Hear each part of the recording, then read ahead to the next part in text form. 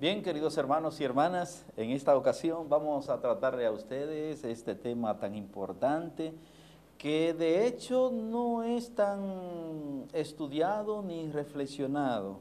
Se trata de la dimensión moral de la muerte de Jesús, podríamos decir también la dimensión ética de la muerte de Jesús.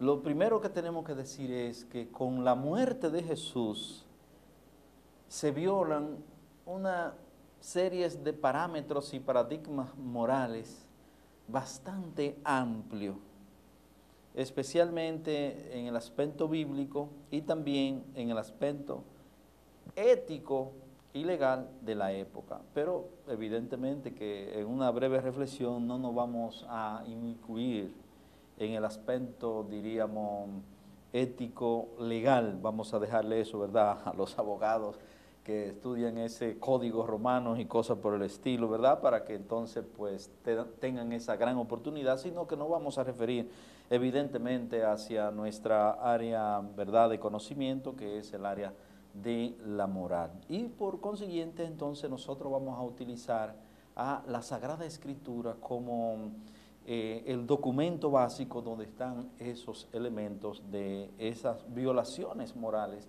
que tuvieron con Jesús. Estamos hablando entonces, ¿verdad?, de todas las consideraciones, de todas las falsas afirmaciones, la traición, los azotes, la muerte de Jesús, ¿verdad?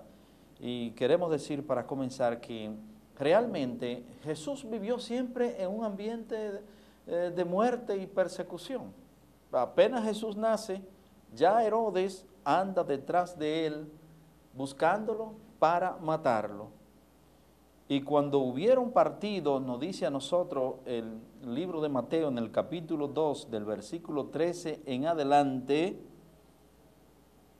He aquí que un ángel del Señor se le apareció en sueño a José diciéndole, levántate y toma al niño, a su madre, y huye a Egipto y quédate allá hasta que yo te diga, porque acontecerá que Herodes buscaba el niño para matarlo. Es decir, apenas Jesús nace y ya Herodes eh, quiere matar el niño, quiere matar a Jesús. Eh, conocemos nosotros perfectamente, ¿verdad? Ya el, el, acontecimiento en que se da eso, no tenemos el espacio para abundar sobre eso, sobre, pero lo que queremos resaltar, hermanos y hermanas, es que desde que Jesús pues nace, ya está la muerte detrás de él. Ya Herodes quiere asesinar a Jesús. Y con esto entonces se violan una serie de, de, de, principios también. Y aquí hay un genocidio verdaderamente porque luego entonces cuántos niños murieron. Porque verdaderamente que Herodes va a Belén va a buscar todos los niños y todos los que va encontrando, los va matando y los va sacrificando, entonces el ángel avisa a José para que él pueda huir a Egipto. Es decir, que la primera cosa que afirmamos es esa que inmediatamente Jesús nace, ya está el tema de la muerte detrás de Jesús y como consecuencia de todo esto, entonces una serie de niños pues mueren inocentes a causa, ¿verdad?, de esta decisión que Herodes pues toma. Bueno, nosotros podemos actualizar esto, hermanos y hermanas. Hoy día también no está Herodes, pero sí tenemos una dura persecución contra los niños eh, no natos, con el tema del aborto, las tres causales y todo este mundo ¿verdad?, de muerte, esta cultura de muerte, como nos ha dicho a nosotros el Papa Juan Pablo II, que, que subrayó hasta la saciedad esta frase, describiendo esta sociedad de esta época y la que todavía hoy más estamos viviendo en esta cultura de muerte, y a eso tuvo que enfrentarse eh, verdaderamente Jesús. Otra cosa que va en contra de la dignidad del ser humano es precisamente de que a Jesús le acusan de loco y que era jefe de los Bersebús, es decir, que él era el jefe de todos los demonios. Dice Marcos capítulo 3 del versículo 20 al 22, dice, después entró Jesús en una casa y otra vez se juntó tanta gente que ni siquiera podían comer él y sus discípulos, aquí viene lo bueno, cuando lo supieron los parientes de Jesús, fueron a llevárselo, y aquí está, que decían que Jesús se había vuelto loco. Señores, no hay una cosa que incomode y que vaya tanto en contra de la dignidad de un ser humano cuando te dicen que tú estás fuera de sí, que tú estás loco sin estarlo. Y esta fue una de las grandes mentiras que blasfemas que se puede decir, tramoña, que se formaron en torno a Jesús, porque decían que estaba fuera de sí y decían también que estaba loco propiamente hablando. También los maestros de la ley que habían llegado a Jerusalén decían, Bezelbú, el propio jefe de los demonios, es quien lo ha dado, quien le ha dado a este hombre el poder para expulsar los demonios. Aquí están las afirmaciones, concretamente dos afirmaciones, ¿verdad?, que van en contra de la dignidad del ser humano. Es el tú decir que el otro está loco y que también, pues, está poseído, ¿verdad?, o que es dueño de todos los jefes de, de los demonios. Dos afirmaciones en contra de la, de la propia dignidad de Jesús y evidentemente que esto iba en contra de todo el proyecto, el plan de salvación pues del mismo Dios y, el Evangelio de Marcos pues nos va a subrayar eh, esta dimensión de que Jesús quiere implantar el reino de Dios, pero entonces eh, los demonios siempre van a estar en contra. Pero en este contexto judío, el que sale acusado de ser un demonio precisamente entonces es Jesús.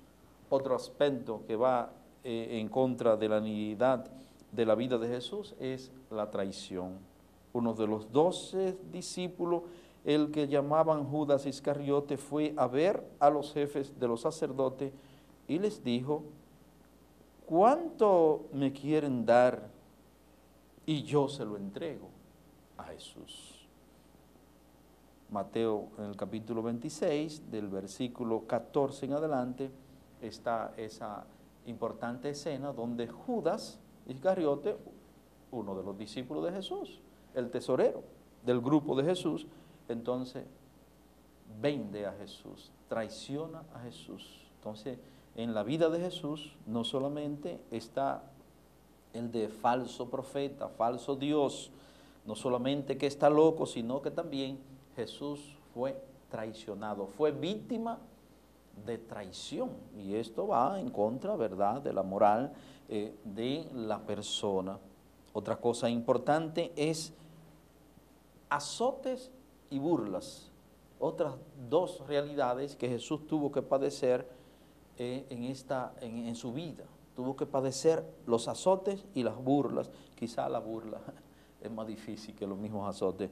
Juan capítulo 19 del versículo 1 y 3, pues nos narra nosotros un momento de esto. Pilato tomó entonces a Jesús y mandó y lo mandó a azotar. Los soldados trenzaron una corona de espina, le pusieron en la cabeza de Jesús y lo vistieron con una capa color rojo oscuro. Luego se acercaban a él diciéndole, viva, viva el rey de los judíos. Y le preguntaban muchas cosas y también le pegaban en la cara. También hay burlas en la cruz de Jesús. Cuando está en la cruz, recuerden ustedes en aquel momento que decía, a otro ha salvado, sálvate a ti mismo, rey de los judíos. Es decir, momentos especiales en los que Jesús pues le hace burlas. También conocemos nosotros que hoy día eso no ha terminado, eso sigue. En nuestra sociedad, el tema de la burla en los centros educativos, esto es un problema, le dicen bullying, ¿verdad? Esto es un problema serio. Pero seguimos, otros aspectos de la vida de Jesús que va en contra de su propia dignidad, eh, en contra de la moral bíblica del momento, es precisamente una falsa justicia.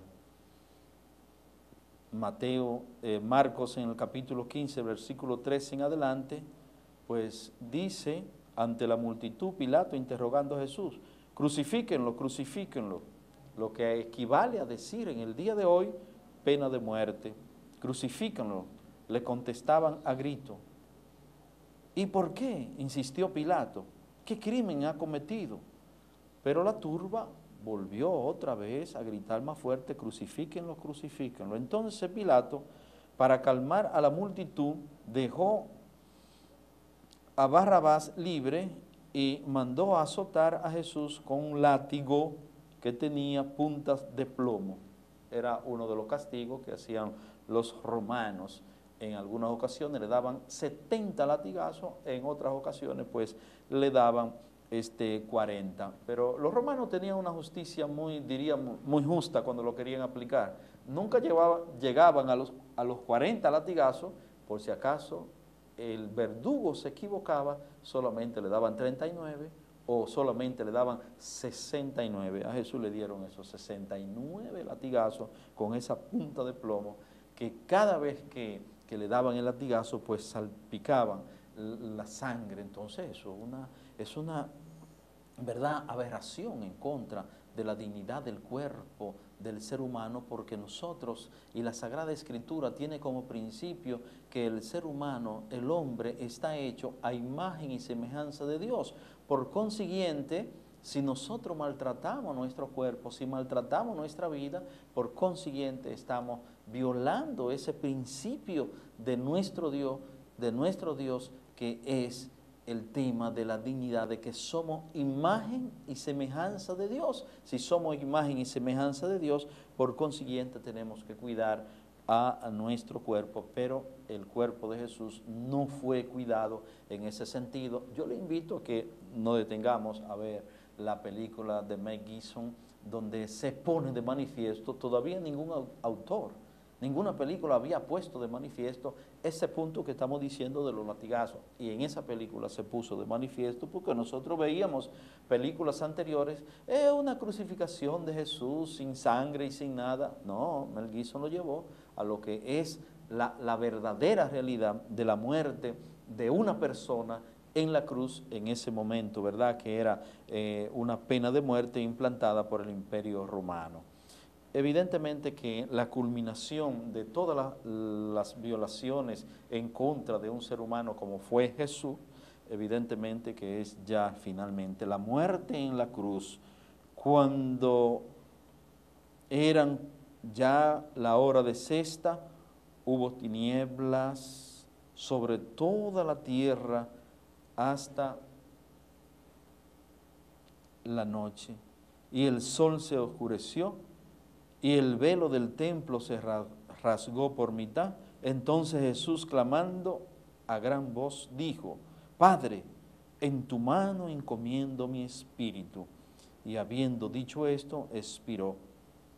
Cuando el centurión vio lo que había acontecido, dijo, dio gloria a Dios, diciendo, verdaderamente este hombre era justo. Yo creo que esta palabra vale mucho aquí. Y también va a valer bastante lo mismo que dice eh, Pilato. El mismo Pilato es entonces el que va a decir, yo no encuentro ninguna culpa en este hombre. ¿Qué queremos decir con estas dos afirmaciones? Verdaderamente este hombre era justo y dice Pilato que era la máxima autoridad, la representación del imperio romano en Jerusalén, era el gobernador, el delegado del el emperador romano, va a decir que no encontró ninguna culpabilidad en este hombre, por consiguiente, la misma autoridad que va a decir que Jesús es inocente, el mismo ejército es verdad que va a decir eh, que verdaderamente este hombre era inocente, pero no se detuvo ahí, sino que Jesús pues finalmente murió y aquí, como decimos, eh, se violan ya todos los parámetros morales porque se condena a un inocente y va a la muerte un inocente, violándose todos los, los principios humanos de los, de los derechos humanos. Evidentemente que en esa época todavía no se conocían tanto así, pero siempre se ha respetado la vida del ser humano. Esperemos, hermanos y hermanas, que estos acontecimientos en el día de hoy no se sigan repitiendo. Esperemos que todos nosotros los cristianos, los seguidores de Dios, hombres y mujeres de fe y de buena voluntad, podamos entonces seguir defendiendo la vida. Con Jesús no se hizo, pero Él murió precisamente para que todos podamos defender la vida y que todas estas atrocidades que se van dando en nuestra sociedad, de muchas personas que van muriendo inocentes, no se sigan repitiendo. Estamos ya avanzados en la humanidad. Esperamos que cada día podamos tomar más conciencia para que no se repitan estos hechos ya en nosotros, no en la vida de Jesús, sino en cada uno de nosotros. Que el Señor le bendiga y que hoy, eh, Viernes Santo, sea un día de mucha meditación y que podamos nosotros también acompañar a Jesús en este dolor y en este sufrimiento. Que el Señor les bendiga a todos.